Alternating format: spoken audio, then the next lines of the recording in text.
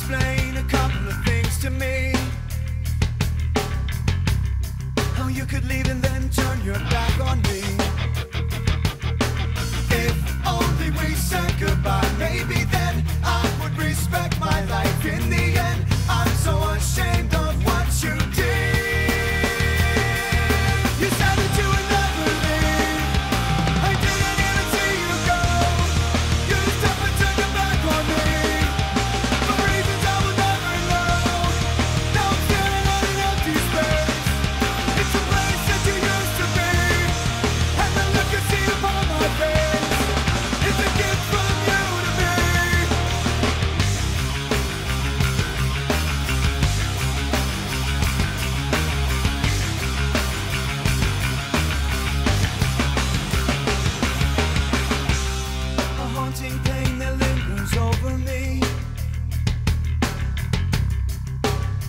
It's not the way it's supposed to be.